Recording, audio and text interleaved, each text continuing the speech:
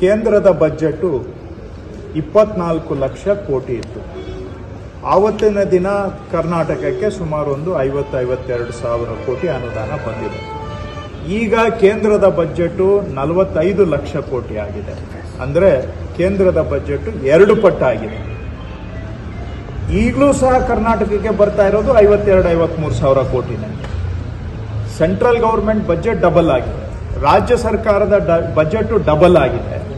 ಆದರೆ ಕರ್ನಾಟಕಕ್ಕೆ ತೆರಿಗೆಯಲ್ಲಿ ನಮ್ಮ ಪಾಲು, ನಮ್ಮ ಹಕ್ಕು ಬರುವಂತಹದ್ದು ಮಾತ್ರ ಅಷ್ಟೇ ಉಳಿದಿದೆ. ಒಂದು ಕಡೆ, ಎರಡನೇದು ಬರಗಾಲದ ಹಿನ್ನೆಲೆಯಲ್ಲಿ ಕೇಂದ್ರ ಸರ್ಕಾರಕ್ಕೆ ಸೆಪ್ಟೆಂಬರ್ ಇಪ್ಪತ್ತ್ ಮೂರನೇ ತಾರೀಕು ಮನವಿಯನ್ನು ಸಲ್ಲಿಸಿದ್ದೇವೆ. ಸೆಪ್ಟೆಂಬರ್ ಕಳೆದು ಅಕ್ಟೋಬರ್, ನವೆಂಬರ್, ಡಿಸೆಂಬರ್, ಜನವರಿ ಮುಗಿದಿದೆ. ನಾಲ್ಕೂವರೆ ತಿಂಗಳಾಯಿತು. ಇಲ್ಲಿವರೆಗೂ ಕೂಡ ನಾವು ಸಲ್ಲಿಸಿರುವ ಮನವಿಯ ಬಗ್ಗೆ ತೀರ್ಮಾನವನ್ನು ಕೈಗೊಂಡಿಲ್ಲ, ಒಂದು ಪೈಸಾ ಹಣವನ್ನು ಬಿಡುಗಡೆ ಮಾಡಿಲ್ಲ. ಕರ್ನಾಟಕದ ರೈತರು ಸಂಕಷ್ಟದಲ್ಲಿರುವಾಗ, ಈ ಥರ ರೈತರ, ಕರ್ನಾಟಕದ ರೈತರ ಬಗ್ಗೆ ಇಷ್ಟು ಯಾವುದೇ ಕಾಳಜಿ ಇಲ್ಲದಂತೆ ಅನ್ಯಾಯ ಮಾಡ್ತಾ ಇರತಕ್ಕಂಥದ್ದು ರೈತರನ್ನ ನಿರ್ಲಕ್ಷ್ಯ ಮಾಡಿರುವುದು ಕರ್ನಾಟಕದ ರೈತರನ್ನ ಎರಡನೇ ವಿಷಯ. ಮೂರನೇದು ಮೇಕೆದಾಟು ಯೋಜನೆಗೆ ಅನುಮತಿ ಕೊಡೋದಕ್ಕೆ ಇನ್ನೂ ಕ್ರಮ ತಗೊಂಡಿಲ್ಲ. ಅಪ್ಪರ್ ಭದ್ರಾ ಯೋಜನೆಗೆ ಹೋದ ವರ್ಷದ ಬಜೆಟ್ನಲ್ಲಿ ಐದು ಸಾವಿರದ ಮುನ್ನೂರು ಕೋಟಿ ಘೋಷಣೆ ಮಾಡಿ ಒಂದು ಪೈಸಾ ಕೊಟ್ಟಿಲ್ಲ ಸೆಂಟ್ರಲ್ ಬಜೆಟ್ನಲ್ಲಿ. ಮಹದಾಯಿ ಯೋಜನೆಗೆ ಒಂದು ಎನ್ವೈರ್ಮೆಂಟಲ್ ಕ್ಲಿಯರೆನ್ಸ್ ಕೊಟ್ಟಿಲ್ಲ. ಸೊ ಇವೆಲ್ಲ ವಿಷಯಗಳನ್ನು ನಾವು ನೋಡಿದಾಗ ಕೇಂದ್ರ ಸರ್ಕಾರ ಕರ್ನಾಟಕಕ್ಕೆ ಅನ್ಯಾಯ ಮಾಡ್ತಾ ಇರೋದು ಬಹಳ ಸ್ಪಷ್ಟ ಇದೆ. ಇದು ಕರ್ನಾಟಕ ಒಂದೇ ರಾಜ್ಯದ ಅಭಿಪ್ರಾಯ ಅಥವಾ ಅನುಭವನೂ ಅಲ್ಲ.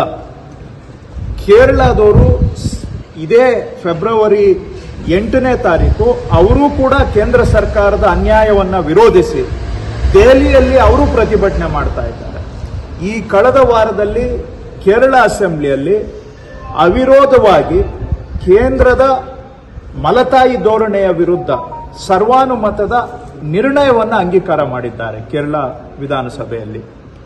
ತಮಿಳುನಾಡಿನವರು ಕೂಡ ಫೆಬ್ರವರಿ ಎಂಟನೇ ತಾರೀಕು ದೆಹಲಿಯಲ್ಲಿ ಪ್ರತಿಭಟನೆಯನ್ನ ಇಟ್ಕೊಂಡಿದ್ದಾರೆ ಕೇಂದ್ರದ ಮಲತಾಯಿ ಧೋರಣೆಯ ವಿರುದ್ಧವಾಗಿ.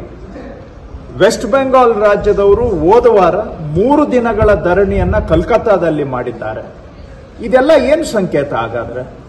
ಯಾಕೆ ರಾಜ್ಯಗಳಿಗೆ ಅದು ವಿರೋಧ ಪಕ್ಷಗಳು ಇರತಕ್ಕಂಥ ರಾಜ್ಯಗಳು, ಅದರಲ್ಲೂ ದಕ್ಷಿಣ ಭಾರತದ ರಾಜ್ಯಗಳಿಗೆ ಈ ರೀತಿಯ ಮಲತಾಯಿ ಧೋರಣೆ ಕೇಂದ್ರದಿಂದ ಆಗ್ತಾ ಇರುವಂತ ಅನ್ಯಾಯ. ಕರ್ನಾಟಕದ ನಿದರ್ಶನದಲ್ಲಿ ಸ್ಪಷ್ಟ ಉದಾಹರಣೆ ಇದೆ. ಹಣಕಾಸು ಆಯೋಗ ಶಿಫಾರಸು ಮಾಡಿರುವ ಹನ್ನೆರಡು ಸಾವಿರ ಕೋಟಿ ರೂಪಾಯಿ ಹಣದಲ್ಲಿ ಒಂದು ಪೈಸಾವನ್ನು ನಮಗೆ ಕೊಟ್ಟಿಲ್ಲ. ನಾವು ಬರ ಪರಿಹಾರಕ್ಕಾಗಿ ಕೇಳಿರುವ ಹದಿನೆಂಟು ಸಾವಿರದ ಒಂದು ನೂರ ಎಪ್ಪತ್ತೆರಡು ಕೋಟಿಯಲ್ಲಿ ಒಂದು ಪೈಸಾ ಹಣವನ್ನು ಇಲ್ಲಿವರೆಗೂ ಬಿಡುಗಡೆ ಮಾಡಿಲ್ಲ. ನಮ್ಮ ನೀರಾವರಿ, ನಮ್ಮ ನದಿಗಳ ನೀರನ್ನ ಬಳಕೆ ಮಾಡಲಿಕ್ಕೆ ಅನುಮತಿ ಕೊಟ್ಟಿಲ್ಲ. ಇದು ಕರ್ನಾಟಕದ ರಾಜ್ಯದ ಜನಗಳಿಗೆ ಮಾಡ್ತಾ ಇರುವಂತ ಅನ್ಯಾಯ ಕೇಂದ್ರ ಸರ್ಕಾರ ನೇರವಾಗಿ. ನಮ್ಮ ರಾಜ್ಯದ ಪರವಾಗಿ ನಾವು ಕೇಂದ್ರದ ಗಮನ ಸೆಳೆದು ನಮ್ಮ ಸಮಸ್ಯೆಗಳು ಪರಿಹಾರ ಆಗಬೇಕು ಅನ್ನೋ ದಿಕ್ಕಿನಲ್ಲಿ ನಾವು ಸೆಪ್ಟೆಂಬರ್ ಏಳನೇ ತಾರೀಕು ದೆಹಲಿಯಲ್ಲಿ ಕೇಂದ್ರ ಸರ್ಕಾರದ ಗಮನ ಸೆಳೆಯೋದಕ್ಕೋಸ್ಕರ ಕರ್ನಾಟಕಕ್ಕೆ ಆಗುತ್ತಿರುವ ಅನ್ಯಾಯದ ವಿರುದ್ಧವಾಗಿ ರಾಜ್ಯದ ಜನಗಳ ಪರವಾಗಿ ಧ್ವನಿ ಎತ್ತುವಂತಹ ಕೆಲಸವನ್ನ ಸರ್ಕಾರದ ಭಾಗವಾಗಿ ನಾವು ಮಾಡ್ತಾ ಇದ್ದೇವೆ. ಪ್ರಹ್ಲಾದ್ ಜೋಶಿ ಅವರು ಹೇಳಿದ್ದು ಹಿಂದೆ ಮನಮೋಹನ್ ಅವರ ಸರ್ಕಾರ ಇದ್ದಂತಹ ಸಂದರ್ಭದಲ್ಲಿ ಕೇವಲ ಅರವತ್ತು ಸಾವಿರ ಕೋಟಿಯನ್ನ ಕೊಡ್ತಾ ಇತ್ತು. ಆದರೆ ಈಗ ಎರಡು ಲಕ್ಷ ಕೋಟಿ ಹೆಚ್ಚು ಅನುದಾನವನ್ನು ಕೊಟ್ಟಿದೆ. ಹೀಗಾಗಿ ನಾವು ತಾರತಮ್ಯ ಮಾಡುವಂತಹ ಪ್ರಶ್ನೆ ಬರಲ್ಲ ಅಂತ ಹೇಳ್ತಾರೆ. ನಮಗೆ ಎರಡ್ ಸಾವಿರದ ಹದಿನೇಳರಲ್ಲೂ ಕೂಡ ಐವತ್ತು ಐವತ್ತೈದು ಸಾವಿರ ಕೋಟಿ ಬರ್ತಾ ಇತ್ತು. ಇವತ್ತು ಐದು ವರ್ಷ ಆದಮೇಲೂ, ಆರು ವರ್ಷ ಆದಮೇಲೂ ಕೂಡ ಐವತ್ತು ಸಾವಿರ ಕೋಟಿನೇ ಬರೋದು ಅಂತ ಹೇಳಿದ್ರೆ ವರ್ಷಕ್ಕೆ ಸೆಂಟ್ರಲ್ ಗೌರ್ಮೆಂಟ್ ಬಜೆಟ್ ಡಬಲ್ ಆಗಿದೆ, ಕರ್ನಾಟಕದ ಬಜೆಟ್ ಡಬಲ್ ಆಗಿದೆ ಆರು ವರ್ಷದಲ್ಲಿ. ಆದರೆ ಕೇಂದ್ರದ ತೆರಿಗೆಯಲ್ಲಿ ನಮ್ಮ ಪಾಲು ಮಾತ್ರ ಅಷ್ಟೇ ಇದೆ ಅಂತ ಹೇಳಿದ್ರೆ ಇಡೀ ದೇಶದಲ್ಲಿ ಎರಡನೇ ಅತಿ ಹೆಚ್ಚು ತೆರಿಗೆಯನ್ನು ಕಟ್ತಕ್ಕಂತ ರಾಜ್ಯ ಕರ್ನಾಟಕ. ಹೊರ ದೇಶಗಳಿಂದ ಡಾಲರ್ನಲ್ಲಿ ದೇಶಕ್ಕೆ ಆದಾಯ ತಂದುಕೊಡೋದ್ರಲ್ಲಿ ನಂಬರ್ ಒಂದು ಕರ್ನಾಟಕ. ಇಷ್ಟೆಲ್ಲ ನಾವು ದೇಶಕ್ಕೆ ಕೊಡುಗೆಯನ್ನ ಕೊಟ್ಟು ನಮ್ಮ ರಾಜ್ಯಕ್ಕೆ ಅನ್ಯಾಯ ಮಾಡತಕ್ಕಂತಹದ್ದು ಸರಿಯಲ್ಲ. ಅದನ್ನ ಅವ್ರು ಯಾವುದೇ ಅಂಕಿ ಸಂಖ್ಯೆಯಲ್ಲಿ ಮುಚ್ಚಿಡ್ಲಿಕ್ಕೆ ಸಾಧ್ಯ ಇಲ್ಲ. ಈ ಅಂಕಿ ಸಂಖ್ಯೆಯನ್ನು ಬೇಕಾದ್ರೆ ಬರಲಿ, ನಾವು ವಿಧಾನಸಭೆ ಅಧಿವೇಶನ ಮುಂದಿನ ವಾರ ಆರಂಭ ಆಗ್ತಾ ಇದೆ. ಯಾರು ಬೇಕಾದರೂ ಚರ್ಚೆ ಮಾಡಲಿ. ನಾವು ಅಂಕಿ ಸಂಖ್ಯೆ ಎಲ್ಲ ಕೊಡ್ತೇವೆ, ವಿಧಾನಸಭೆಯ ಅಧಿವೇಶನದಲ್ಲಿ ಫ್ಲೋರ್ ಆಫ್ ದ ಹೌಸ್ ಅಲ್ಲಿ ಕೊಡ್ತೇವೆ. ಯಾರು ಬೇಕಾದರೂ ಚರ್ಚೆ ಮಾಡಲಿ. ಸುಮ್ಮನೆ ಯಾವುದ್ಯಾವುದೋ ಕತೆಗಳನ್ನ ಕಟ್ಟಿ ಕಟ್ಟು ಕತೆಗಳನ್ನ ಕಟ್ಟಿ ಜನಗಳ ಗಮನವನ್ನ ಬೇರೆಡೆ ಸೆಳೆಯೋದು ಬೇಡ. ಹಾಗಾದ್ರೆ ಕರ್ನಾಟಕದಲ್ಲಿ ನಾವಿದೆಲ್ಲ ಹೇಳ್ತಾ ಇದ್ದೀವಿ ಅಂದ್ರೆ, ಕೇರಳದವರು ಯಾಕೆ ಸರ್ವಾನುಮತದಿಂದ ರೆಸೊಲ್ಯೂಷನ್ ಮಾಡಿದ್ದಾರೆ ಅಸೆಂಬ್ಲಿಯಲ್ಲಿ? ಅನ್ಯಾಯದ ವಿರುದ್ಧವಾಗಿ. ತಮಿಳುನಾಡಿನವರು ಯಾಕೆ ಎಂಟನೇ ತಾರೀಕು ದೆಹಲಿಯಲ್ಲಿ ಪ್ರತಿಭಟನೆ ಮಾಡ್ತಾ ಇದ್ದಾರೆ? ವೆಸ್ಟ್ ಬೆಂಗಾಲ್ನವರು ಯಾಕೆ ಕಲ್ಕತ್ತಾದಲ್ಲಿ ಪ್ರತಿಭಟನೆ ಮಾಡ್ತಾ ಇದ್ದಾರೆ? ಒಟ್ಟಾರೆ ಈ ಒಂದು ದಿನಗಳಲ್ಲಿ ಕೇಂದ್ರ ಸರ್ಕಾರ ರಾಜ್ಯಗಳನ್ನ ವ್ಯವಸ್ಥಿತವಾಗಿ ಶಕ್ತಿ ಕುಂದಿಸುವಂತ ಕೆಲಸವನ್ನ ಮಾಡ್ತಾ ಇದೆ. ರಾಜ್ಯಗಳ ಶಕ್ತಿ ಕುಂದಿದರೆ ದೇಶದ ಶಕ್ತಿ ಕುಂದುತ್ತೆ.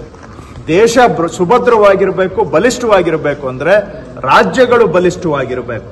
ರಾಜ್ಯಗಳನ್ನ ಶಕ್ತಿಯನ್ನ ಕುಂದಿಸಿ ದೇಶವನ್ನ ನೀವು ಸದೃಢ ಮಾಡಲಿಕ್ಕೆ ಸಾಧ್ಯ ಇಲ್ಲ.